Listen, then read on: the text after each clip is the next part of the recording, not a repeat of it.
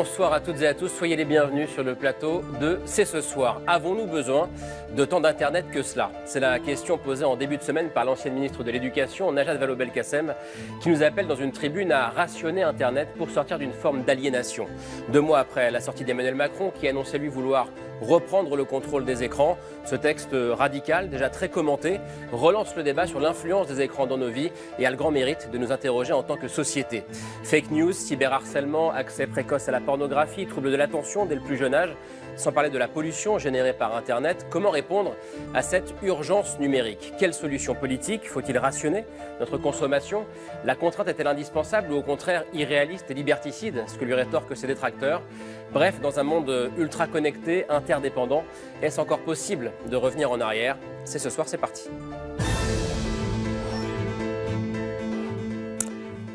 Mercredi 20 mars 2024, c'est ce soir avec Camille Yao. Salut Camille. Avec Arthur Chevalier. Salut Arthur. Seriez-vous prêts tous les deux à être rationnés? Alors j'en suis pas certain.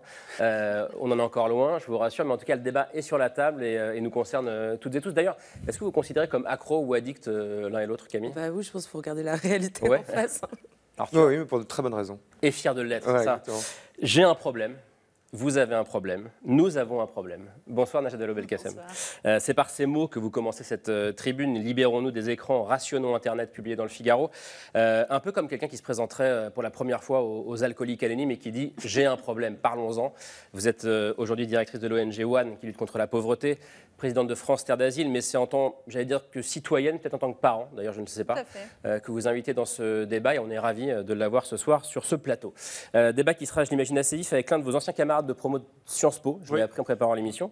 Euh, bonsoir Antoine Bueno. Bonsoir. Tout va bien? Ah oui, ça va. Essayiste, conseiller au Sénat, chargé de la prospection et du développement durable. Euh, vous êtes euh, hostile au rationnement, euh, je Ah crois oui. pouvoir le dire. Et la question de la, de la contrainte sera l'un des points de débat intéressants. Comme quand on parle d'écologie d'ailleurs, c'est assez intéressant, ça revient beaucoup. On va le voir ce soir. Et ça résonne aussi avec votre dernier livre à vous. Faut-il une dictature verte? On pourrait demander ce soir, pour vous paraphraser, face à l'urgence, faut-il une dictature numérique? On posera la question. Également avec nous ce soir un journaliste euh, spécialiste de ces enjeux numériques, euh, Raphaël Grabli, bonsoir. Euh, chef du service tech de BFM TV, rédacteur en chef adjoint du site Tech Co. Euh, vous reconnaissez, je crois, largement à Najat Vallaud-Belkacem d'avoir mis ce débat euh, sur la table. La grande question que vous posez, c'est pas tant vous le temps d'utilisation d'Internet, mais la nature des contenus, et ce sera un point de débat intéressant ce soir. Nous voulions aussi avoir le regard d'une philosophe, euh, philosophe et psychanalyste d'ailleurs. Bonsoir Elsa Godard. Bonsoir. Bienvenue, chercheuse associée à l'EHESS, responsable du diplôme universitaire éthique et numérique euh, à Paris 12 euh, Créteil. Pour qualifier notre rapport euh, aux écrans et à Internet peut-être plus généralement, vous parlez-vous d'un âge dépressif dans lequel notre monde a, a basculé? Et en témoigne le titre de votre euh, dernier livre, Les vies vides, euh, sous-titré Notre besoin de reconnaissance est impossible à rassasier. Et puis, il était aussi important pour nous euh, d'avoir quelqu'un qui est au quotidien en contact avec les enfants, parce que cette addiction euh, aux écrans, elle commence euh, de plus en plus tôt. Bonsoir Gilles Vernet. Bonsoir. Bienvenue, homme au parcours très, très riche, très, très singulier. Vous avez été trader dans les plus grandes banques internationales pendant des années, avant de devenir instituteur dans le 19e à Paris. Euh, Aujourd'hui, scénariste, réalisateur. Euh, et dans votre documentaire qui s'appelle Et si on levait les yeux, une classe face aux écrans, euh, on suit vos élèves de CM2, hein, c'est bien ça C'est Toute ça. une année scolaire, autour de la question de la place des écrans dans leur vie. Et ça montre bien à quel point les écrans ont modifié le rapport des enfants euh, à l'apprentissage, au langage, au temps, à la nature. Voilà, on va débattre de tout ça ce soir. Merci d'être là pour ce débat, cette discussion qui s'ouvre comme d'habitude avec le billet de Pierre Michel.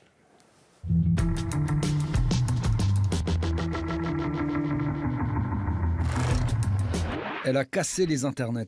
Najat Vallaud-Belkacem a mis le feu hier soir à Internet. Elle veut casser les internets. L'ancienne ministre de l'Éducation, euh, Najat Vallaud-Belkacem, appelle à rationner Internet 3 gigas par personne par semaine.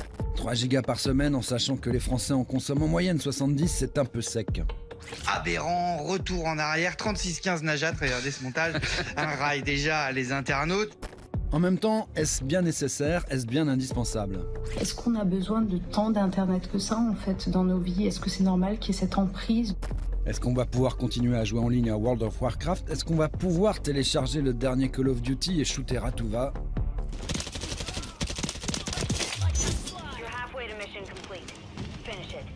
Et si jamais on veut regarder un film?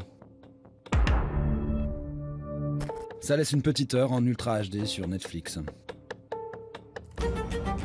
An hour of television can change everything. Pire qu'un verrouillage, un couvre-feu numérique, on n'est plus en 2024 mais en 1984. Vous savez, on parlait de l'état Big, Big Brother, c'est plus l'état Big Brother, c'est l'état Big Mother, mais ça devient pesant. Encore une brillante idée de la gauche, celle qui ouvre les vannes à tout va, sauf pour la 4K. Parce que parfois, sur certains sujets, c'est le lâcher euh, complet, c'est le, les libertaires à mort, et Oui, vas-y. euh, et puis après, tout d'un coup, on resserre les verrous sur la pudibonderie. Chacun ses problèmes. D'abord, on peut euh, s'auto-réguler. Euh, c'est quand même extraordinaire. J'ai pas besoin de Madame Valo Belkacem si euh, je ne veux euh, pas être dépendant des, euh, des écrans. Eh bien, ce serait pas mal de s'y mettre. On passerait en moyenne 4,6 heures euh, par jour devant nos écrans, téléphones, ordinateurs, tablettes. À l'échelle d'une vie, ça donne 14 ans et 310 jours. Pour les plus jeunes, c'est tout le temps et tous les jours. Les 16-25 ans scrollent entre 3 et 5 heures par jour. Et plus on scrolle vers le bas âge, plus il est évident qu'il y a un sérieux problème d'usage. À partir de ces deux ans, un enfant passe déjà presque trois heures devant un écran chaque jour. Et puis, c'était un vœu du président. Nous déterminerons le bon usage des écrans pour nos enfants, dans les familles, à la maison comme en classe. Lui parlait d'usage, pas de rationnement, mais il disait aussi restriction, interdiction, assumait le mot contrôle. Le contrôle de nos écrans, qui trop souvent enferment là où ils devraient libérer. Car se priver, c'est aussi parfois se libérer. Bon, en tout cas, vous avez réussi à provoquer le débat. Euh, Najat Vallaud-Belkacem, euh, votre tribune, elle commence euh, dans le Figaro, elle commence par ces mots. Euh, J'ai un problème, vous avez un problème, nous avons un problème. Et vous parlez un peu de vous d'ailleurs. Vous dites, euh, je suis pas la dernière à utiliser les, les réseaux sociaux. Euh, et euh, souvent, euh, le soir, je me dis, allez, je vais jeter un, un coup d'œil encore quelques secondes. Et puis deux heures après, je suis encore à le faire. Est-ce que c'est votre expérience personnelle, j'allais dire, qui vous a poussé à écrire cette tribune Oui, absolument. Euh, merci de rappeler ces premiers mots parce que, en fait, euh, les observateurs, faut pas qu'ils pensent une seconde que je suis en train de faire la leçon aux autres. Je parle de nous, vraiment un nous collectif. Je parle à nous citoyens, je parle à nous adultes, je parle de nos enfants, je parle des tensions qui sont présentes dans toutes les familles quant à la régulation du temps qu'on passe devant les écrans, etc. Et moi, je me dis que c'est pas possible qu'un sujet aussi important, aussi préoccupant, on va revenir sur les effets très néfastes d'un certain nombre de contenus, euh, disparaisse du débat public, du débat politique. Donc c'est un appel au ça. sursaut, à une prise de conscience Ah oui. collective Ah oui, franchement, c'est vraiment une façon de tirer la sonnette d'alarme. Je vais commencer par ça, si vous voulez bien. Il y a euh, un chercheur américain qui s'appelle Jonathan Haidt qui euh, vient de sortir une étude. Alors, euh, il y a beaucoup plus de données aux États-Unis qu'on en a en France. il faudrait vraiment documenter ça. Mais sur les États-Unis, euh, écoutez, il établit que sur ces dix dernières années, vous avez une augmentation de la dépression et de l'anxiété de plus 50%. Chez les 10-19 ans, une augmentation du taux de suicide de plus 48%. Chez les jeunes filles de 10 à 14 ans, une augmentation du taux de suicide de plus 130%. Mais est-ce que le lien avec les Et écrans est forcément fait? Évidemment, il fait l'enquête et en fait, il constate, en comparant avec d'autres pays, etc., que le, le point commun, beaucoup plus que, bah, évidemment, le Covid a joué, etc., mais, mais pas que, le point commun, c'est vraiment euh, cet enfermement, ce confinement euh, devant l'écran, le smartphone qui a pris une place absolument centrale dans la vie, notamment de nos jeunes, mais des adultes aussi qui sont du coup mal placés pour donner des leçons aux jeunes. C'est tout ça qui doit nous interroger. Juste, euh, je me tourne vers la psychanalyste, puisque est-ce que ce que vient de dire Najat Kassem, vous, vous y souscrivez aussi en tant que Oui, clinicienne Il y a une étude qui est parue il y a quelques temps, je ne pourrais pas vous la citer de tête, euh, il y a peut-être un an et demi, euh, par l'IFSO, euh, qui a été publiée selon laquelle la manière dont la jeunesse regardait, envisageait l'avenir, et c'est un, et c'est un aspect très sombre. C'est d'ailleurs très étonnant parce que jadis, on avait les représentations où on était dans une jeunesse très enthousiaste, plein de projets, etc. Alors que là, on est sur une approche très sombre de l'avenir. Alors, il y a les problématiques écologiques, il y a les problématiques euh, de, de travail, euh, social qui jouent évidemment. Et puis, on a affaire, j'ai d'ailleurs une de mes doctorantes qui a donné cours là-dessus aujourd'hui au DU sur la mélancolisation adolescente. Et il est vrai que euh, les usages du numérique participent hein, à ce sentiment-là. Mais il me semble très important, et ça j'insiste là-dessus, de pouvoir euh, tenter de comprendre, d'interroger ces usages du numérique dans un aspect global de la société, parce qu'ils ne sont pas clivés. Euh, je prends juste un exemple. Euh, on a vu que, notamment auprès des, des très jeunes enfants qui ont un usage bien trop excessif des écrans, on en a déduit des problématiques de langage, d'apprentissage, et Ouais. notamment de langage. Mais euh, prenons juste un contexte social d'une famille monoparentale avec un seul adulte, un seul enfant. Quand l'adulte rentre le soir avec un bébé, il ne parle pas. Il y a du silence, il y a du vide de ce point de vue-là. Il est évident que le langage ne peut pas se développer de la même manière. Et donc, il me semble que si on veut penser, et c'est juste de le faire, et euh, la tribu de, de Najat, je vous permets de vous, parler de Il n'y a pas votre de problème. La tribu de Najat euh, est très juste de ce point de vue-là, sans peut-être revenir sur des formes, mais c'est un cri d'alarme. Hum. Un, un cri d'alarme, et vous réagissiez, Gilles Vernet, euh, quand euh, Elsa Godard parlait de la question du langage, euh, vous, en tant qu'instituteur. Ça a été le point de départ de mon film, en fait. Euh, c'est de réaliser la déplétion progressive année après année du langage, euh, des capacités d'expression aussi. Il n'y a pas que le vocabulaire, mais je me rappelle les années du Covid, j'entendais les enfants me dire euh, Maître, vous pouvez venir m'aider, j'arrive pas à le dire. Donc c'est j'ai une idée. Mais je n'arrive même plus à la formuler. C'est pas tous les élèves, hein. mais réellement, c'est un constat généralisé. Euh, j'écris un livre en ce moment dessus. Euh, a écrit un livre, faites-les lire, qui fait des constats extrêmement euh, scientifiques, sourcés, tout ce qu'on veut, voilà. Pour démon- Et puis c'est le témoignage de tous les enseignants, et Ouais. quel que soit leur niveau. hein. Vous pouvez monter en prépa, vous pouvez monter. Il y a, il y a un sentiment d'un affaiblissement du langage, mais c'est assez simple. C'est que les temps langagiers, pour commencer, sont complètement piratés par addiction ou surabondance de communication. d'un Ouais. côté. Et ensuite, il y a véritablement le fait qu'ils ne lisent plus. Alors, je voudrais vraiment qu'on parle de ça. Ça Allez-y, paraît vous êtes là. Mais c'est euh, mon- le plaidoyer euh, fondamental que vous diront. Vous avez été ministre. Quelle place ont occupé les livres dans votre vie? Énorme. Énorme. dans votre Je- Je, construction. ne serais pas devenue ce que je suis devenue sans eux. Voilà. Évidemment. Mais qui dit ça aux élèves qui leur... Moi, je, me, je martèle Vous, vous leur dites, mais... que le langage, c'est le pouvoir. Et c'est le, c'est les mots de Bourdieu. Non, Juste, euh, euh, Antoine Bonneau, je vais dire Arthur Bonneau, mais Arthur il est là-bas. Euh, Est-ce que vous aussi, vous avez un problème d'ailleurs tiens? Ah oui, oui. Oui, oui, absolument. Oui, oui. euh, oui, non, non, mais il faut être, faut être parfaitement honnête. Moi, j'ai un problème de concentration. Euh, je m'aperçois à mon âge, alors que pour autant, euh, voilà, on est d'une génération qui n'a pas complètement. euh, oui, bah oui, oui, mais on a à peu près tout- Enfin, certains ont le même âge, puisque nous étions ensemble à Sciences Po avec Najat. Donc oui, non, je, je le reconnais euh, absolument. Mais euh, là, bah, d'abord, bravo quand même à Najat. Euh, déjà d'avoir suscité ce débat. Moi, je, je, je rêverais que mes ironique. tribunes. Non, non, pas du, ah, non, non, pas du tout. Moi, je rêverais que mes, mes tribunes euh, Suscite le débat. Suscitassent. Voilà, un imparfait subjonctif, elle est gratuite. Ouais, ça, c'était avant les écrans, ça. Voilà, voilà euh, qui est un tel débat. Bon, ben voilà, déjà c'est formidable. Et après, dans ce débat, il y a deux choses. Il y a le constat, et je pense que tout le monde va être d'accord pour dire que les écrans, Internet, les réseaux sociaux posent des problèmes. Et face à ce constat, Quelle la question, solution c'est qu'est-ce qu'on fait? Najat propose quelque chose avec lequel moi je suis euh, fondamentalement, foncièrement en désaccord, mais c'est là que se situe le Ouais. débat. Ouais, on va y venir, mais juste, euh, Raphaël Gralu, vous êtes d'accord avec le constat, vous aussi, ou pas? Parce qu'Antoine n'a pas, euh, Arthur n'a pas l'air. En fait, j'arrive pas à comprendre le constat, moi. Pour être très honnête, j'arrive pas à comprendre la tribune. Euh, elle est passionnante, elle ouvre plein de débats, mais je comprends pas qu'on traite le numérique comme un sujet. Comme si le fait de sortir de la rue chez soi, c'était un sujet, et qu'on allait rationner les gens en disant, pour ne pas se faire agresser dans la rue, pour ne pas se faire insulter, euh, ne sortons plus de chez soi. Et donc, en fait, moi, ce qui m'a posé problème dans cette tribune, c'est qu'il y a un mélange de sujets euh, qui n'ont vraiment aucun lien. Et d'ailleurs, euh, on a commencé un peu à parler de- de- d'écologie, puis ensuite d'addiction aux écrans, si c'est même ce qui est un terme qui est extrêmement discuté. Et donc, moi, cette tribune, j'avoue que je l'ai trouvée un peu euh, désordonnée, parce que vraiment, on comprend pas ça- trop où ça va. Mais après, Mais ça signifie que vous, que vous au-delà de la tribune, alors que vous ne considérez pas qu'il y ait un problème de- d'addiction euh, Ou de dépendance. ou de alors- dépendance euh, Oui, pardon. quand on, quand on demande aux spécialistes, l'addiction aux écrans, la dépendance aux écrans, c'est quelque chose qui ne fait pas du tout euh, consensus. Et les problèmes de langage et de concentration, et moi aussi je suis particulièrement concerné, euh, mais, mais les problèmes de langage chez les enfants, encore une fois, on en a parlé il n'y a pas très longtemps ici, euh, est-ce que c'est la, la cause ou est-ce que c'est le symptôme?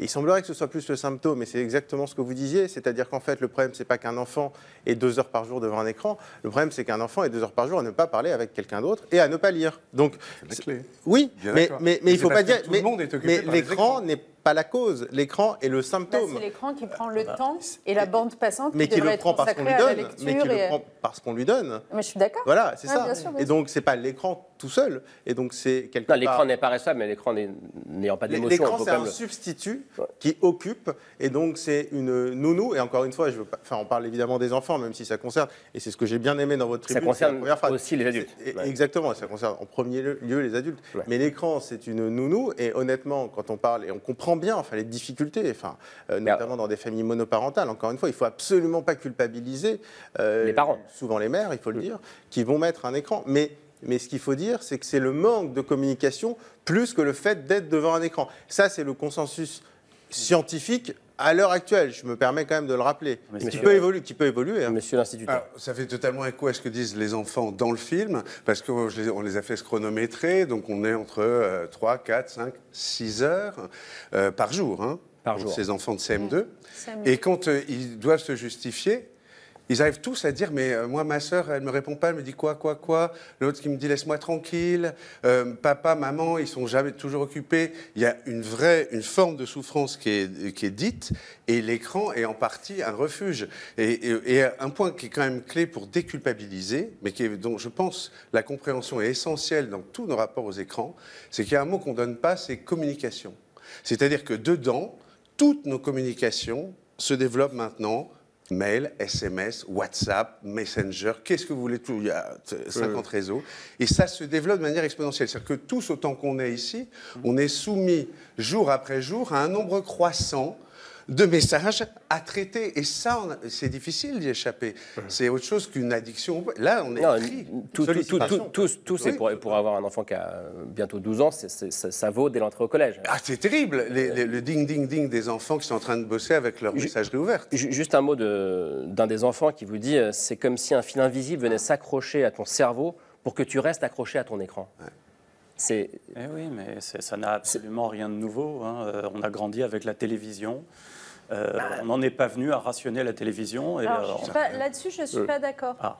C'est, euh, pardon, hein, si je peux me permettre, parce que j'ai vu beaucoup des, des commentaires qui étaient faits. C'est nous-mêmes, nous avons grandi avec la télévision et nous-mêmes, nous passions des heures au téléphone avec nos copains. Est-ce que c'est pas pareil que ces Et les gamins qui se retrouvent sur Snapchat?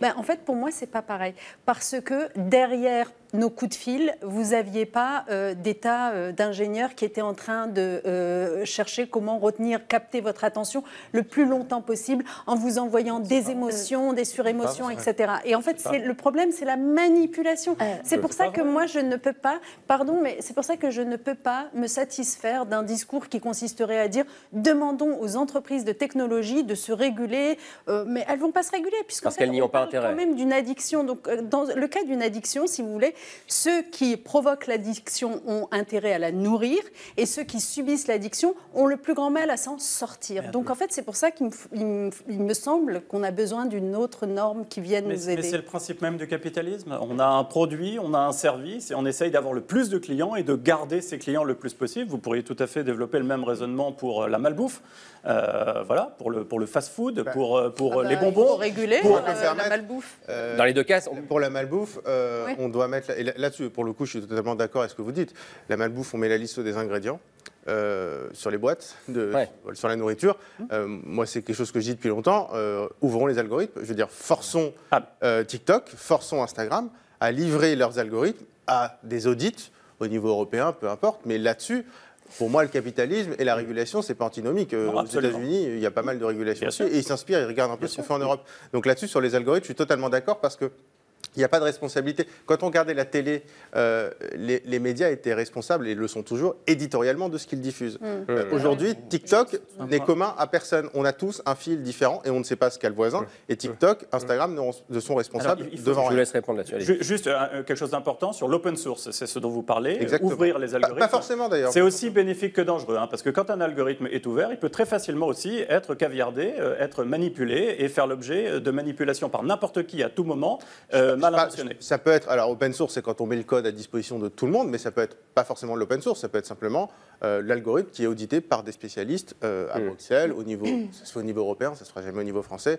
aux États-Unis, peu importe. Mais le régulateur peut avoir des spécialistes pour auditer les algorithmes sans que ce soit open source. Arthur, j'arrive, mais juste, juste un mot, puisque vous parlez de malbouffe. Euh, est-ce, que- est-ce que vous considérez, euh, vous aussi, Elsa Godard, que c'est un problème de santé publique, pour le coup, au même titre que la malbouffe, par exemple? Il y a plusieurs choses. Je, je peux juste développer deux minutes. Mais bien sûr, mais vous êtes Euh, au bon endroit pour ça. Je, je- je pense que, je, je pense que i- i- la problématique est plus large, parce que tout ce que vous dites me semble fort juste, mais il faudrait l'entendre dans un, dans un registre global. Par exemple, euh, la question qui se joue sur Internet, c'est la question du sujet, somme toute. Il y a une fascination, au-delà du fait qu'on soit euh, attiré, qu'on soit séduit, qu'on soit appelé par des publicités ciblées, par des, des- des, hum, une endogamie ciblée avec des propositions sur les réseaux sociaux de telle ou telle personne. Au-delà de ça, il y a une fascination. Cette fascination, elle est simple, c'est celle du lien humain. Qu'est-ce qui se joue dans le champ du virtuel? Il se joue une autre scène qui est celle de la virtualité avec un sujet du virtuel. Un sujet du virtuel qui mime jusqu'à ressentir les effets. Mm. Ce que c'est qu'être humain, avec des connexions, avec des, des sentiments, des sensations, avec des possibilités, mais dans un contexte très spécifique, sans corps, ça veut dire sans effort, sans fatigue, sans temporalité, sans enjeu, sans responsabilité. Je peux ghoster qui Et je ça, veux. et ça, ça a des conséquences très concrètes. Et ça, ça a des conséquences très concrètes. Parce que finalement, la question qu'on devrait tous se poser, et là je rejoins un- une problématique qui n'est pas une problématique à mon sens, qui devrait être réglée d'un point de vue politique, mais social. C'est-à-dire que c'est une problématique qui devrait poser des enjeux éthiques. Non pas des enjeux éthiques d'un point de vue technologique ou Mm. économique, des enjeux éthiques d'un point de vue du sujet. La question qu'on devrait poser très simplement, c'est quand on a la possibilité de vivre avec les sensations si proches, et on l'a fait pendant le confinement, soyons honnêtes, Ouais. sans, le, sans Internet, qu'est-ce qu'on aurait fait? On a pu avoir des relations sociales, on a, pu, on a pu travailler, on a pu avoir des émotions, des sensations, des apéritifs par écran interposé. Il y avait du lien. Ce lien était honnête, il était vrai, il était éprouvé. Or, le danger, c'est que ça nous donne l'illusion d'une existence, et j'entends bien une existence, où tout est possible, sans le moindre effort, sans le moindre engagement humain, sans la moindre responsabilité, et même sous couvert d'anonymat, ce qui donne lieu effectivement à des dérives, mais sans aucune régulation. Ce qui fait qu'on devrait poser un débat éthique. La question, c'est qu'est-ce qui nous ferait revenir à la vie elle-même, la vie matérielle, dans sa tragédie, dans son incontournable Mais- rencontre avec l'irréversibilité. Juste, je termine. La nécessité, me semble-t-il, c'est de poser une question qui voudrait dire pourquoi voudrions-nous la vie, la vie charnelle, quand une existence sur une autre scène, avec toutes ses facilités, ses jouissances, ses plaisirs, nous est rendue possible et accessible Et si tel est le cas, qu'est-ce que nous attendons pour ne pas créer une éthique du sujet numérique avec des droits et des devoirs du citoyen numérique? Alors, une- justement, Enfin, je profite parce Arthur. que euh, vous avez fait, euh, sans que je sache avant, la transition avec ce que je voulais dire, parce que la, la question qui se pose derrière, c'est la virtualité. Et c'est un débat qui est très, très, très ancien, la virtualité. Ça s'est posé avec le théâtre dans l'Antiquité, ça s'est posé Aristote. Ah oui. avec la littérature au 19e siècle. Et euh, c'est un discours qui relève euh, des plus dévots. euh, Enfin, je veux dire, par exemple, on considère au 19e que la lecture, c'est quelque chose de mauvais. D'ailleurs, on s'inquiète énormément. C'est dans l'art des deux mondes, vous voyez, c'est pas, c'est pas, c'est pas quelque chose de très confidentiel. On s'inquiète énormément de la maniaquerie de la lecture. Et euh, ça concerne essentiellement, d'ailleurs, les femmes, évidemment, puisque dans l'idée très réactionnaire qu'était celle-ci, les femmes passaient leur temps à lire et donc à ne rien faire. C'est-à-dire qu'on pense que la lecture va être euh, on dangereuse. pense, on pense que la lecture euh, détourne les gens de la vraie vie, en fait. Et on se dit pourquoi les gens lisent? Mais c'est quelque- c'est un sujet qui est de société très très répandu au 19e. Ça n'a rien d'exceptionnel. Et Les arguments employés sont exactement les mêmes. Euh, par ailleurs, sur l'argument de l'information et de la hiérarchie qui induit Internet, il n'y a, pas de y a pas de police des bibliothèques. Et dans une bibliothèque, il n'y a pas que des livres intelligents. Je veux dire par là que les livres aussi ont été dangereux et ils ont eux aussi été soumis à la liberté du marché. C'est-à-dire qu'un individu peut prendre un livre dans une bibliothèque qui est débile, dangereux, qui va l'inciter à penser de mauvaises choses. Et on a des exemples dans l'histoire mené à des catastrophes. Donc j'ai un peu l'impression qu'on a un débat un petit peu euh, très conservateur. Ah bah très Najat. Najat Est-ce que vous n'avez pas l'impression justement d'avoir été un peu réac sur le coup? C'est drôle parce que précisément j'ai une phrase où je dis euh, non non je ne suis pas en je, train de je, devenir dis, je réac. suis. Mais du coup, je vais rétro- c'est rétrograde le terme. Ou rétrograde Non, non, pas du tout. En fait, euh, je pense que là où il y a un malentendu, il me semble, c'est que vous croyez sérieusement que ma tribune porte sur le contenu de ce qu'on trouve sur Internet, alors que moi, je, et, et- et croyant que ça porte sur le contenu, vous seriez bien placé pour me reprocher d'attenter, par exemple, à la liberté d'expression ou que sais-je, parce que euh, je, veux, je voudrais, soi-disant, empêcher les gens d'aller voir tel ou tel contenu.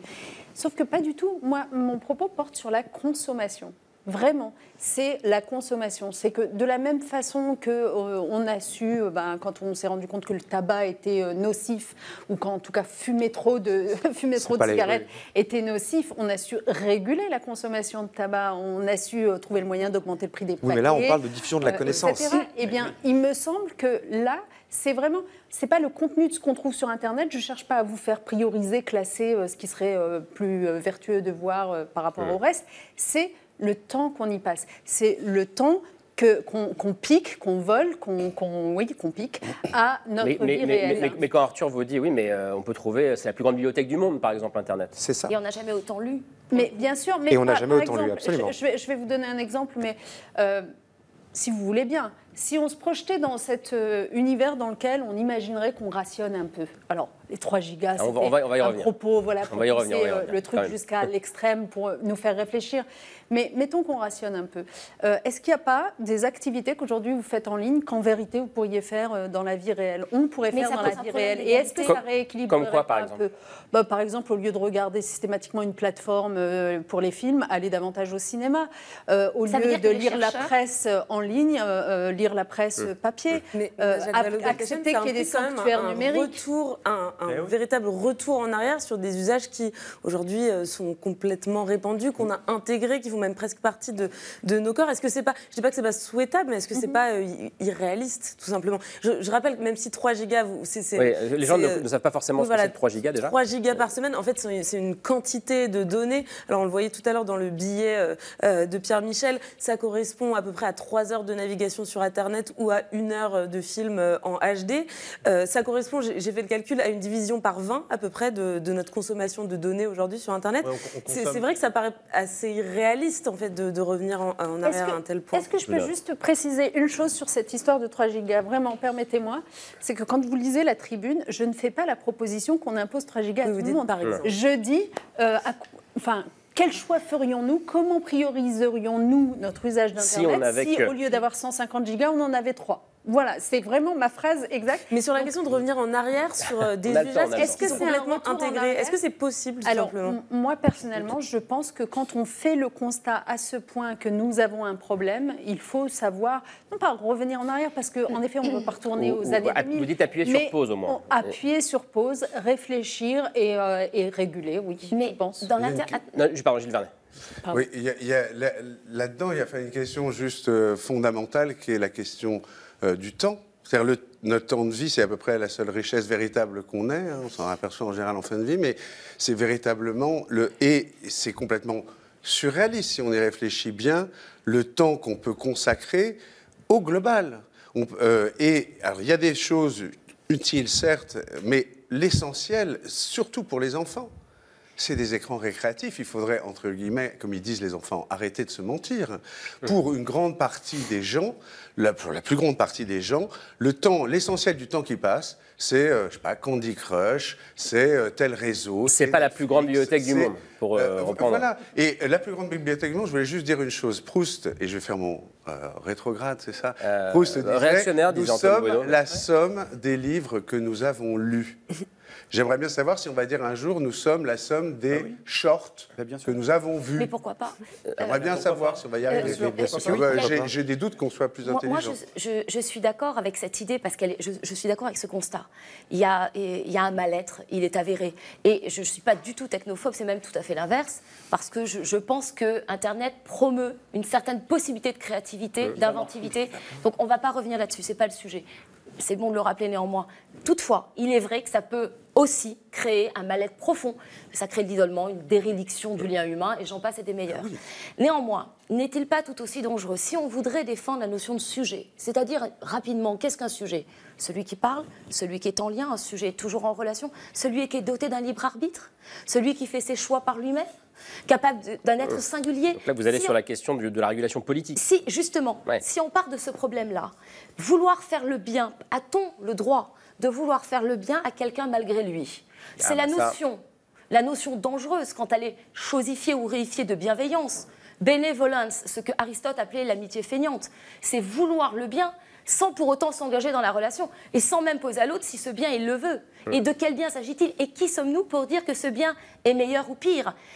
Deuxième chose, cela signifie aussi que si on décide que tel usage est nocif pour Mmh. une société et qu'on décide politiquement de l'interdire, cela implique qu'on estime que les gens ne sont pas capables de faire leur propre Ben choix. voilà. On Ben- les déresponsabilise. Alors, Et donc ça veut dire mais que restons là, là-dessus. on va Et détruire la notion même de sujet qu'on tente à défendre. Antoine Bueno. Là où les usages le menacent, Là-dessus. c'est pas par là qu'il faut s'y prendre. Là-dessus, si et- et je pense que ça rejoint un peu ce que vous pensez, Antoine Bonneau, pour le coup. Je suis totalement d'accord. Euh, mais je le dis pas aussi bien. Hum. Euh, la- non, mais c'est vrai, mais c'est vrai, ouais, c'est pas le mien. Euh, la technologie, elle est neutre. C'est-à-dire qu'elle est ce qu'on en fait. ça, et en débat, général, elle apporte, autant, elle, apporte, elle apporte autant de bien qu'elle fait de mal. Ça, c'est toujours vérifié. La télévision, c'est à la fois Orwell et c'est un outil de démocratisation de savoir, etc.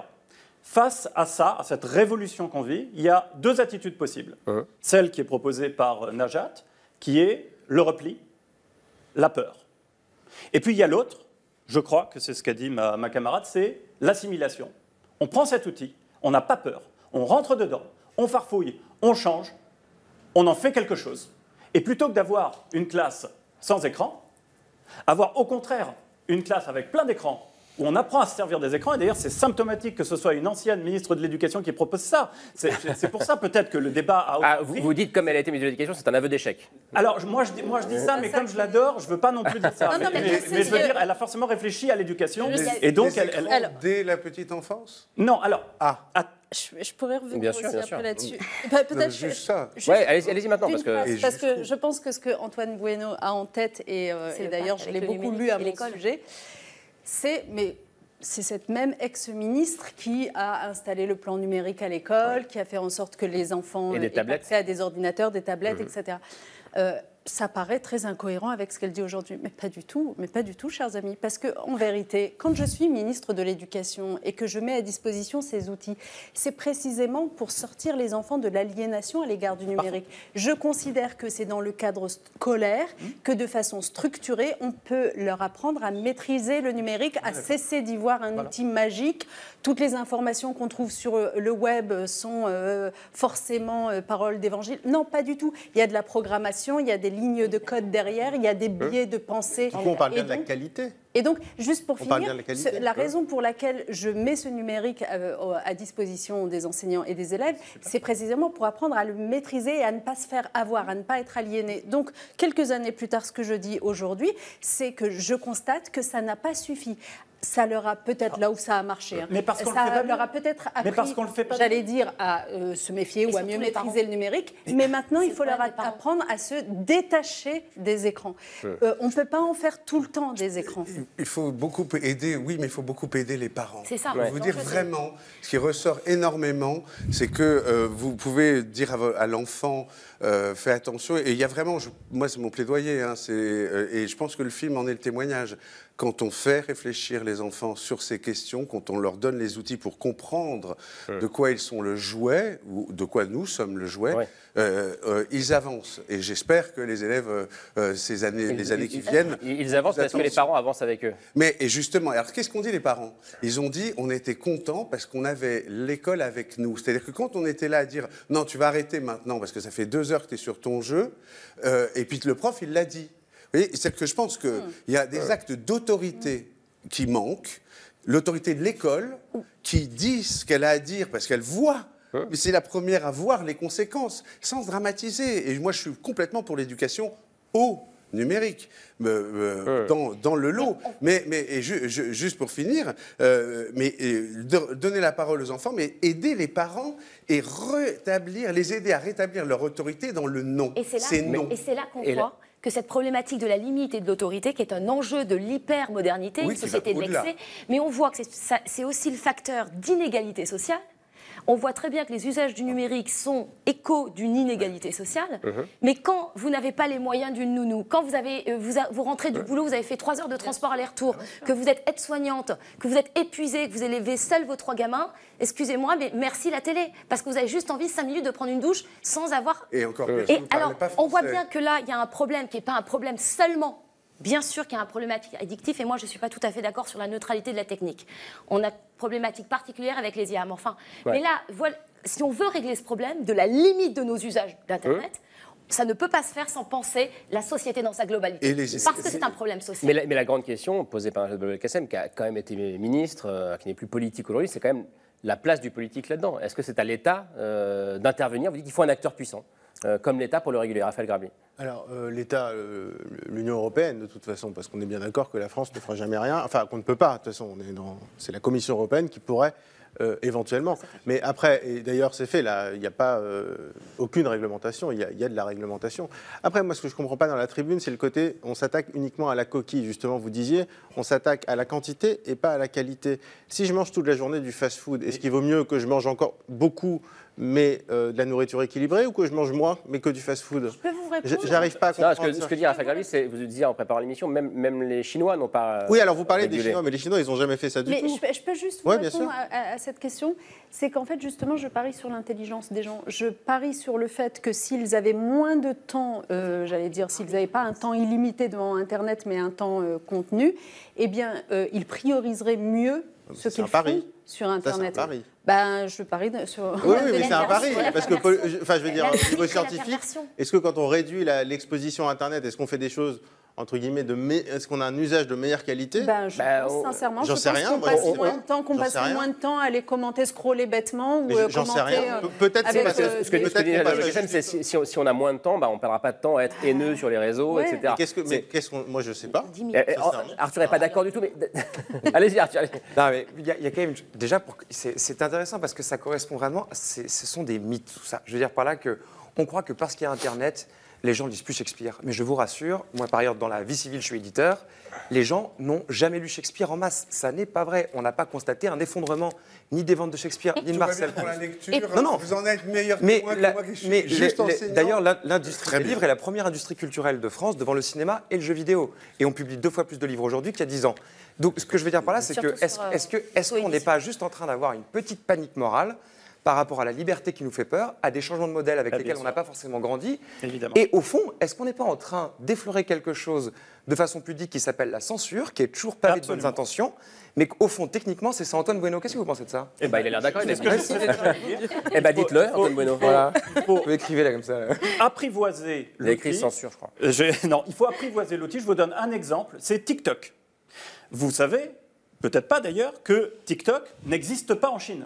Bah, pas sous cette forme-là. Euh, euh, pas sous cette forme-là, sous une toute autre forme qui s'appelle Douyin et qui, paraît-il, fait des miracles d'un point de vue éducatif. Dire que le, le reproche qui est fait aux Chinois, enfin en tout cas à la maison mère TikTok, c'est d'abrutir euh, Voilà, les, de- ados euh, européens et occidentaux Et Voilà. hein. d'éduquer les leurs. Les Chinois nous envoient le fentanyl et une bombe cognitive qui est TikTok.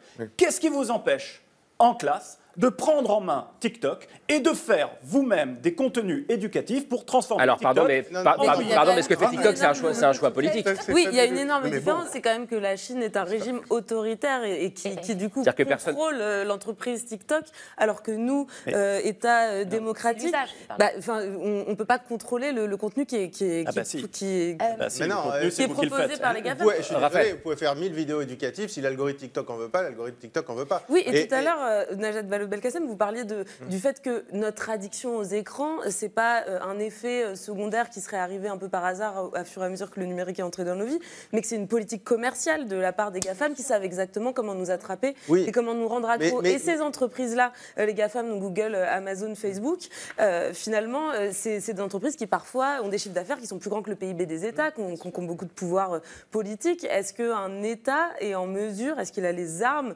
euh, Et je me tourne vers vous, Raphaël Grabli. Est-ce est-ce qu'un État peut faire quelque chose pour Alors réguler encore une fois, euh, un État peut- en Europe, si je reste chez nous, la France ne peut rien faire, mais l'Union européenne peut faire des tas de choses. Encore une fois, je parle du fait d'auditer les algorithmes. Évidemment, on peut très bien demander euh, à Instagram euh, de livrer ses algorithmes pour expliquer justement le jour où on fait des contenus, eh bien, faire en sorte que ces contenus soient mis en avant. Mais si vous n'avez pas l'algorithme, vous pouvez les produire vos contenus, mais dès que vous les publiez, ils sont mis à la poubelle. Oui, ça sert sûr, strictement à rien. Et concernant TikTok, la seule question qu'il faut se poser, et c'est la situation actuelle, c'est est-ce qu'on accepte que le Parti communiste chinois décide de ce que de l'éducation de nos enfants parce que c'est la situation actuelle, il faut le dire, Ouais, il faut quand même le dire, le rappeler, et la France ne peut rien faire. Maintenant, si on interdit donc- TikTok, donc répondre, on à cette, donc répondre à cette question, c'est pas juste du libre arbitre, c'est un choix euh, politique. Est-ce qu'on laisse le Parti communiste chinois faire? C'est pas moi qui, qui vais décider de pas le laisser faire. Non, alors après l'autre question, donc euh, je suis euh, la Commission européenne, je dis non, je ne veux pas que le Parti communiste chinois continue à éduquer nos enfants. Très bien, on l'interdit TikTok, très bien. Vous vendez plus une bouteille de Bordeaux en Chine pendant 15 ans. Voilà. Donc derrière, faut, faut voir ce que ça implique. Non, Donc non. maintenant, c'est un choix Ça- ça- politique. ça- Et j'aimerais pas. À quel point on est piégé dans cette histoire. non, quand pas du tout. Bah, Est-ce que, j'ai tort Non, non, je pense que vous avez raison. Non, pas du tout. juste vous dire à Mais quel point on est Et puis piégé. surtout, ça va créer Mais- des interdits, un engouement encore plus grand. Mais Euh, et quand on, a, quand on a un usage, c'est très difficile de faire machine arrière. Néanmoins, sur TikTok, je, je voudrais juste prendre un exemple. Il y a eu un filtre, vous avez entendu peut-être parler de ça, un filtre qui s'appelle Bold Glamour, qui est très Ah oui. intéressant. Juste un micro-exemple pour comprendre Hum. peut-être l'ensemble. Expliquez ce que c'est parce que Et- moi je sais pas. alors, ce filtre Bold Glamour, il est assez génial, il traduit beaucoup de choses.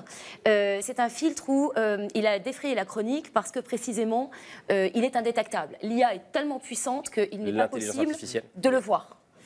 Donc, Donc un filtre, c'est quelque chose qui permet de modifier donc, son un filtre, visage voilà, merci de préciser Ouais. pour tout le monde. Et euh, donc ce filtre, il est très spécifique parce que l'algorithme vous fait tous ressembler, y compris les chiens d'ailleurs, j'ai essayé sur toute chose, euh, à Kim Kardashian en gros, Au- donc aux influenceurs. Quel que soit votre âge, avec ou sans maquillage, etc., vous avez toutes les mêmes, le même, l'idée d'un Ouais. conformisme et d'une uniformisation. Donc on peut imaginer dans un champ dystopique, une jeune fille en pleine construction identitaire, prenons vraiment les gros clichés, qui, avec ses complexes, etc., se retrouve avec la possibilité de se filtre sur une autre scène, une existence sur une autre scène qui est celle du virtuel, Ouais. en représentant à l'idéal de ce que ce monde nous ferait penser, d'un idéal de beauté, de réussite, d'acceptation, qui sont des valeurs hyper modernes, hyper capitalistes. hein. La réussite, la jeunesse, la bonne santé, j'en passe. Et donc là, elle a cette vie sur cette autre scène. C'est un filtre indétectable. Vous pouvez même l'image dans le Ouais. reflet et, et, et- et modifier aussi. Qu'est-ce qui fait qu'elle va avoir envie de revenir à elle-même? Qu'est-ce qui fait Exactement, que cette image distorsion de la donc- réalité. donc là, on n'est pas sur un enjeu politique. alors Mais c'est ça la réponse. on n'est pas sur un enjeu politique. Alors justement, je conclue là-dessus. Pour moi, il est trop tard de limiter ce, ce dont on pratique déjà. Mais en revanche, je vous donne un tout petit exemple, et je ne travaille que là-dessus. Avec mes doctorants, on, on- on crée ça. Il n'y a pas de, de réflexion éthique sur la mise sur le marché de toutes les applis. Il n'y en a pas. Aujourd'hui, toute innovation scientifique. Donc c'est trop tard pour ce qui est déjà sur le marché Voilà, mais ce vers quoi l'on tend ce- cette réflexion-là de toutes les applis qui sont a priori anodines, sous le, co- le couvert du ludique, mais qui sont un enjeu Oui, oui, financier on, ne l'a pas encore. Ça, pour le coup, on peut Et- les et- interdire. Je voudrais que- Alors justement, Non, mais vraiment, faut que ça Ouais, un circule. instant, oui, c'est c'est Faut que ça bref. circule. Je reprends juste, je, je me mets, et de ce côté-là, je me range euh, du côté de Najat. Je reprends la position d'Ancionas, dans le principe responsabilité 1979, qui posait une réflexion qui parlait d'un vide éthique après la bombe H. Désormais, l'humanité s'autodétruit. C'est inédit. Le développement technologique peut Hein nous autodétruire. Donc- On arrive à un vide éthique, on, on doit tout réinventer.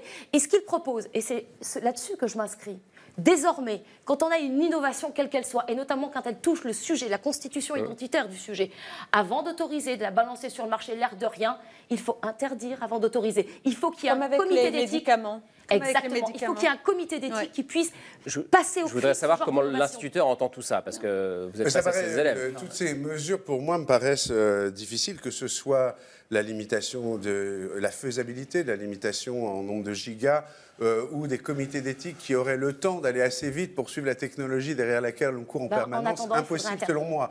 Par contre, réellement, euh, et je trouve par revanche que l'idée, elle est désastreuse de dire l'État ne peut rien. En l'occurrence, l'État C'est français. pas l'idée, c'est un constat. hein. Oui, non mais Ah, d'accord. Je veux dire, dans ça la- risque de braquer beaucoup de gens contre la Commission européenne, alors qu'on peut influencer la Commission européenne. On Ah est oui. quand même un pays relativement Non, mais je dis- influent. je dis- non, Euh, je dis la peut- décision finale, revient, mais évidemment oui, qu'on peut l'influencer, Voilà. bien sûr. Et donc, donc on peut faire. euh, Et ensuite, il y a la, la question aussi d'une campagne de communication. Ça, ça relève, à ce que je sache, de notre responsabilité. Où est-ce qu'elle est la campagne de communication pour un enjeu de santé publique? On- Comme vous l'avez dit, cigarettes, alcool. Mais je je veux dire, là, aujourd'hui, moi, là où je suis optimiste, et euh, c'est que je crois profondément qu'on prend conscience d'un enjeu. D'accord? C'est tout neuf, ça n'a même pas 10 ans. Euh, c'est court hein, pour euh, voilà. Donc on prend conscience de ça et là faut par contre, je pense, essayer de trouver des solutions à un problème aussi complexe, aussi vaste, prendre le temps et point par point l'attaquer. La boîte noire des algorithmes, la communication aux parents. Une parole des enseignants beaucoup plus forte, euh, qui soit plus Formation appuyée, une formation, quelque chose, et puis une formation des enfants. Alors là, s'il vous Mm. plaît, juste, un- enfin, vous êtes plus euh, en poste, mais la grande question pour les enseignants, c'est on leur dit, maintenant, il va falloir parler des écrans, mais il faut aussi continuer à parler de l'anglais, de trucs et des Mm. machins. Pareil pour l'informatique. Il faut faire, faut faire des choix, je pense, euh, personnellement. Mais la- Euh, et la- ça mais- peut être un des choix importants. La campagne de communication dont vous parlez, ce serait une campagne nationale de santé publique euh, Non, mais- sur la Qui marque pardon, les pardon. esprits. Sur quoi? Sur le rapport aux écrans? Bah, euh, ça a marché pour plein de choses quand même. Ça a marché, ça a impacté. C'est pas des solutions miracles. Bah, mais ça l'alcool au volant, Mais- par mais vous la exemple. diffusez où, la L'alcool au campagne volant Mais non, mais faut pas à la non, mais faut- je- Là, je suis pas en train de Mais vous dire. Je Mais fais vous- des films. Mais non, mais justement, être- concrètement, on la diffuse où cette campagne? Bah, sur Hein d'abord sur les Bah, télévisions. oui, après oui, sur mais pour Internet. toucher ceux qui panneaux, utilisent euh, dans l'espace Non, non, non, mais vous voyez où mais je veux en venir. sur- Non, non, bah, Si. oui, oui, si vous voulez, mais Bah oui. justement, euh, oui, alors voilà, c'est comme le, Donc c'est le des- donc président ou tout le monde politique qui se rue sur TikTok, se décrédibilisant d'une certaine sur manière. Moi, je suis pas tellement est d'accord pour pour santé, tout hein. céder au réseau. On peut, on peut avoir une parole politique forte quand les messages sont justes. Les gens suivent. Voilà ce que je crois. Juste Vallaud-Belkacem, une chose, oui. pardon. Euh, pour rebondir sur ce que vient de dire Gilles Vernet, euh, ça me permet de répondre à Elsa Godard qui demandait tout à l'heure peut-on faire le bonheur des gens malgré eux? Très bonne question euh, que se pose en permanence le politique. Je rappelle néanmoins que euh, on le fait souvent. Enfin, je veux dire, quand oui, on oblige les gens à porter la ceinture de sécurité euh, en voiture, On fait euh, on, on fait leur bonheur malgré eux. Et d'une certaine façon, tout le monde est pour aujourd'hui. Enfin, j'ose espérer.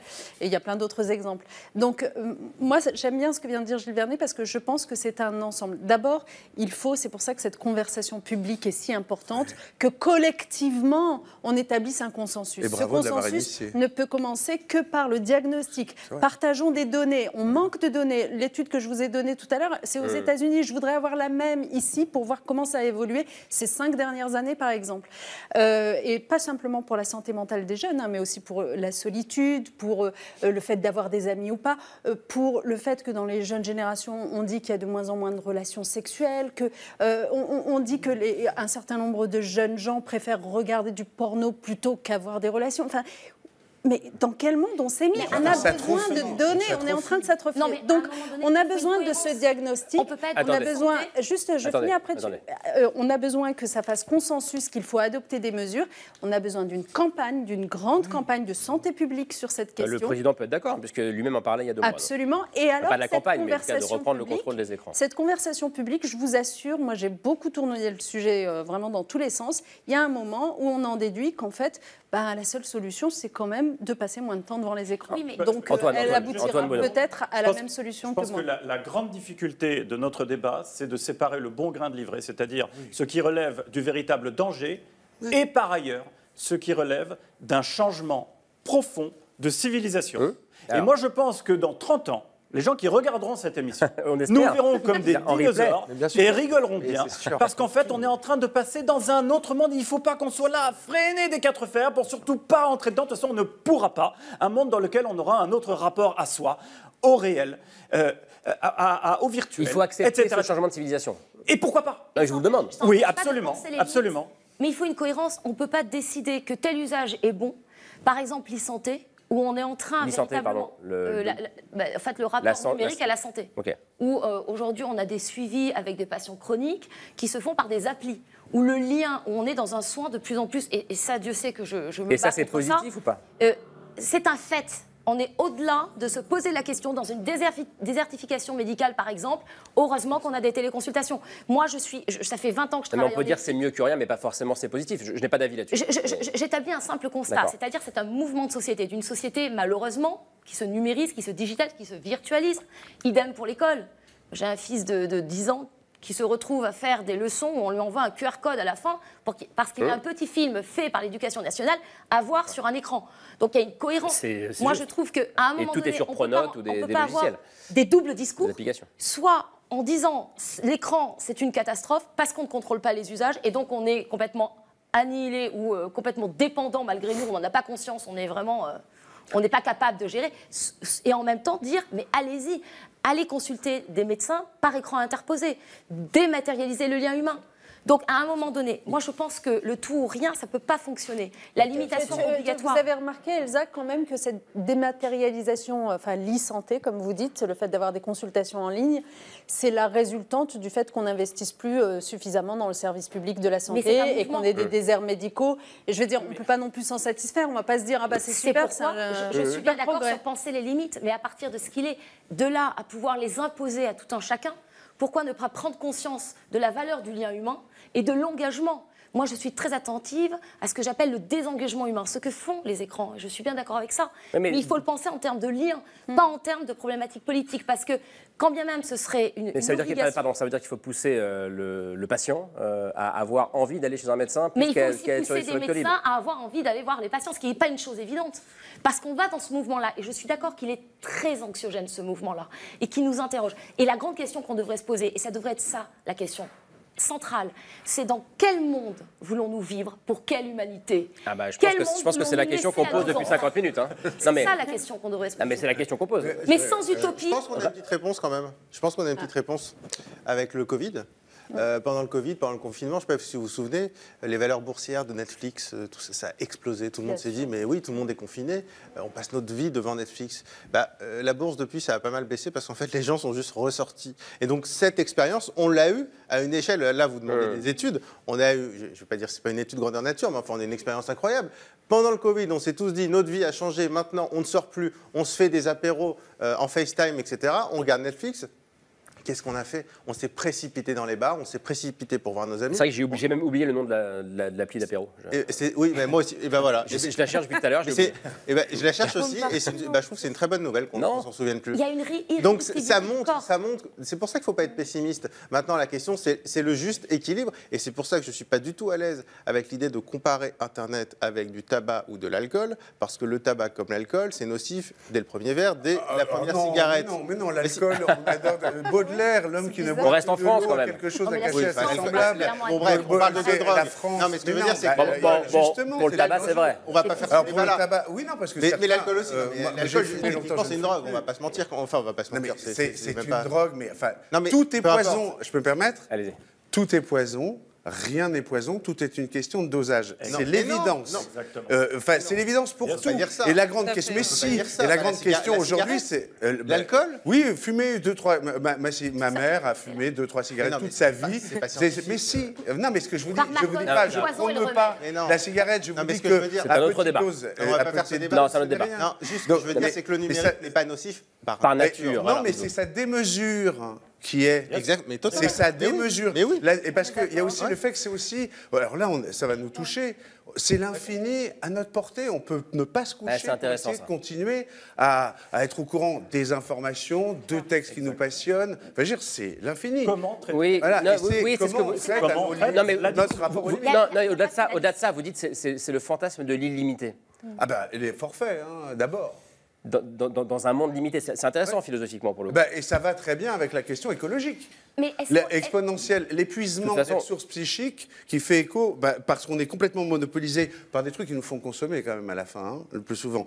Euh, c'est fait quand même légèrement écho à l'épuisement des ressources terrestres. Mais j'ai l'impression qu'on a déjà eu ce débat euh, plusieurs fois avec vous. Antoine Bonneau, euh, notamment Bah oui. sur la question écologique. Et c'est les mêmes termes qui reviennent. C'est La, la contrainte, la sobriété, Absolument. le technosolutionnisme, etc. absolument la même problématique. Voilà. Soit on bascule du côté de- du développement durable, et donc euh, on, on ne veut pas limiter, on ne veut pas rationner, soit on bascule du côté de, du déclinisme ou de la décroissance, euh, et on est dans cette, dans cette logique-là. Alors, moi, à titre personnel, j'ai choisi le développement durable, mais euh, de, de toutes mes forces, parce que je ne crois même pas que le rationnement du numérique soit une solution écologique.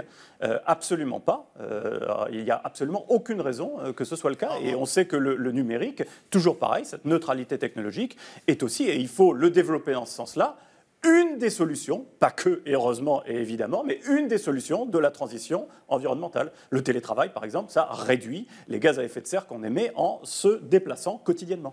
Arthur. Mais justement, c'est très intéressant ça, le- la question environnementale relativement à l'usage d'Internet, puisque par exemple, euh, vous avez dans le métavers de Meta, hein, donc l'entreprise Facebook qui a été créée par Mark Zuckerberg. euh, Le métavers, le métavers, on essaie de dire ce que c'est. Ah, en, en gros, c'est-à-dire que c'est un monde connecté avec des casques de réalité virtuelle. Le seul monument français qui est disponible dans cette application, parce qu'en fait c'est comme un jeu vidéo si vous préférez, euh, de façon en tout cas assez sophistiquée, c'est le château de Versailles par exemple, d'accord? Vous pouvez le visiter exactement comme si vous y étiez, c'est très très bien fait, euh, j'ai essayé. Et donc euh, assez spontanément, on se dit que bah, en fait un enfant qui vit à Shanghai, qui a 9 ans, peut visiter en payant, euh, je sais pas, enfin le voilà. casque coûte 400 dollars, c'est-à-dire le prix d'une console de jeux vidéo, je veux dire, Mais on peut le partager. peut, peut visiter ce musée. Je précise que euh, la plupart des musées du monde sont en train de se mettre, évidemment, de se rendre disponibles euh, sur euh, le MetaQuest, qui est donc ce fameux casque.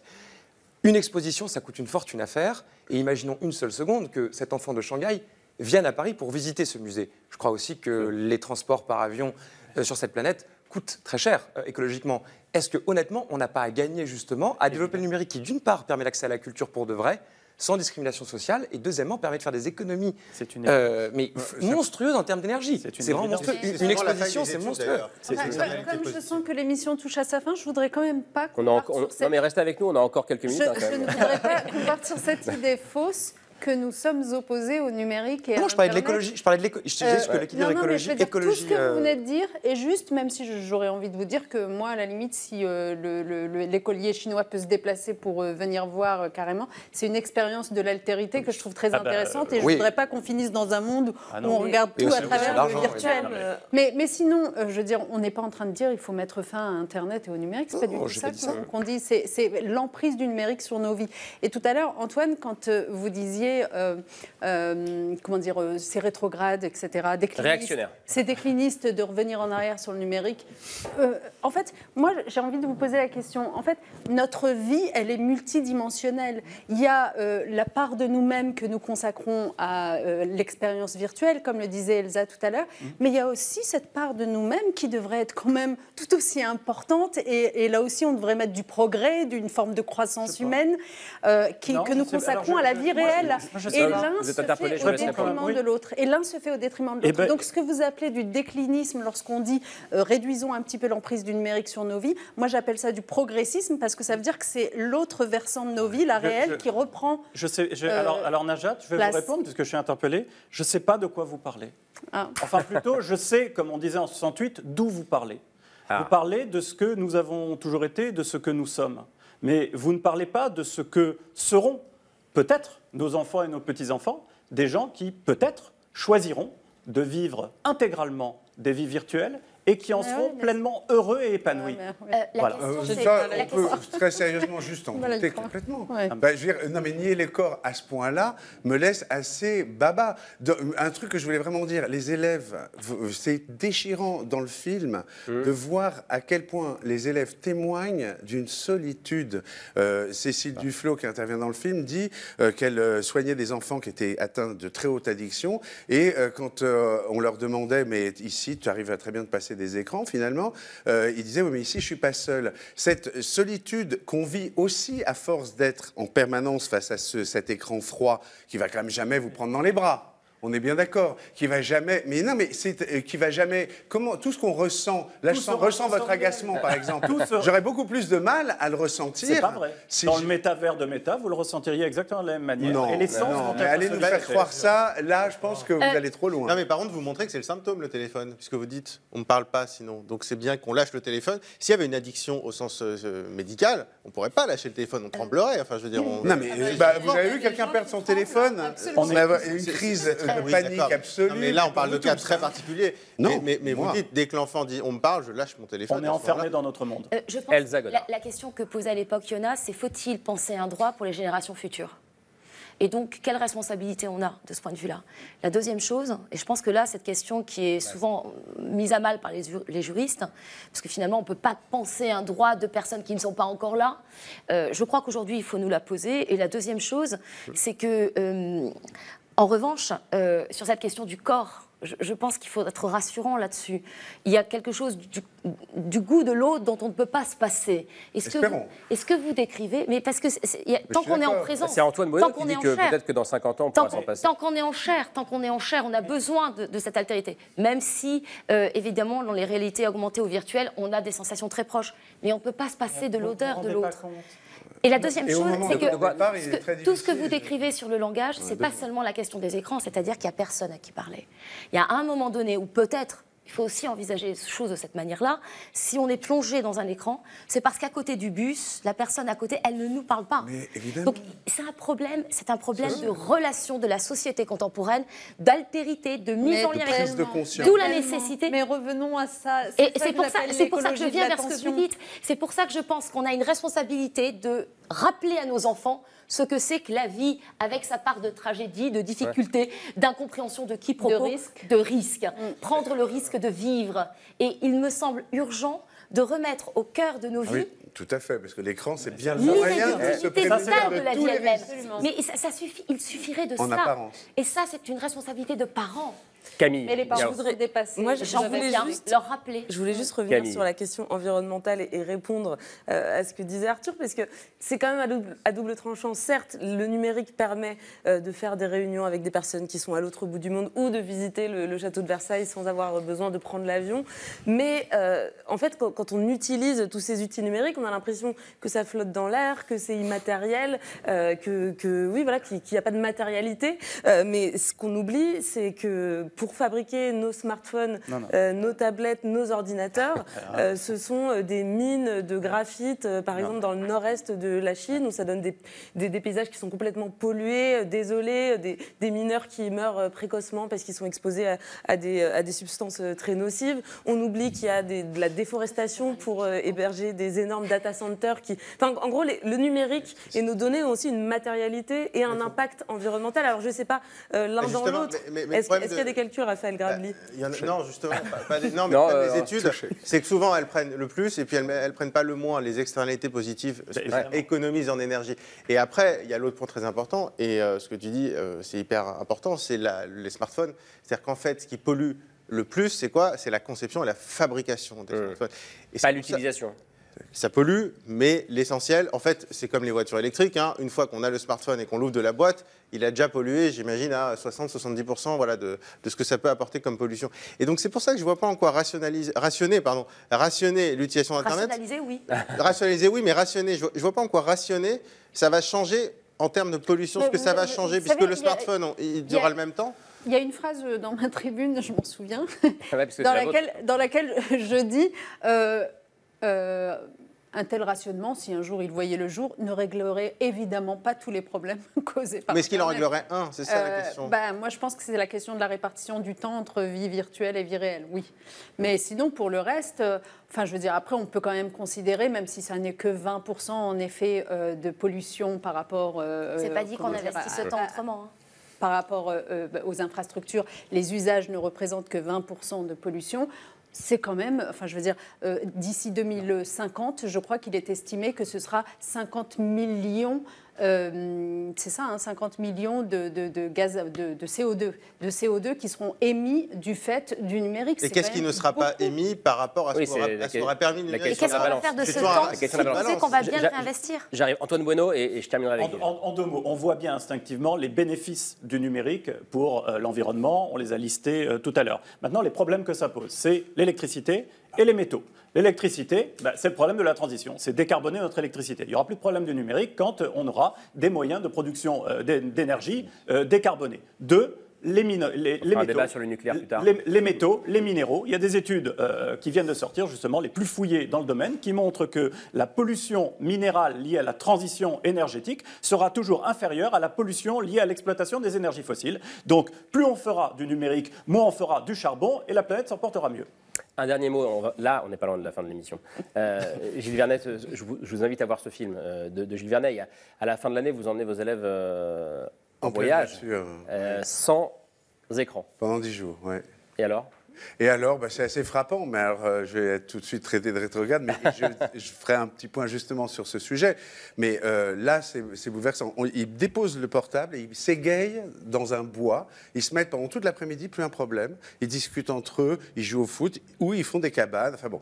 Mais le rapport à la nature, ils, ils en parlent longuement. Et de toute façon, c'est l'évidence, c'est presque le rapport au spirituel, c'est un rapport fondamental. Donc, clairement, les écrans nous coupent. On peut même voir dans des villages euh, euh, des enfants euh, sur la place du village avec leur portable. Et puis ensuite, l'amitié. Ça, c'est fondamental. D'un seul coup, ils développent des liens, ils, se- ils discutent, ils entendent. Et pour conclure, ce que je voulais dire, en tant qu'enseignant, euh, ça n'a aucun sens de, de dire le numérique c'est mal, je me garde bien de le dire. Et on parle, mais on parle d'emprise du numérique. Mais quel numérique? C'est le numérique compulsif et récréatif. Il faudrait dire emprise du numérique compulsif et récréatif. vrai. C'est celui-là qui coupe la maman de son enfant, alors que le gauche, il est là, il a, il a six mois, il a besoin des yeux, et on, on va jusqu'à oublier cette chose aussi fondamentale que ça. J'y pense là, ça me. Mais on est, mais on est, et on est tous à se regarder hein, là-dessus. Ouais, je me regarde, là. Personne C'est juge clair. personne, ce que vous clair. faisiez très bien.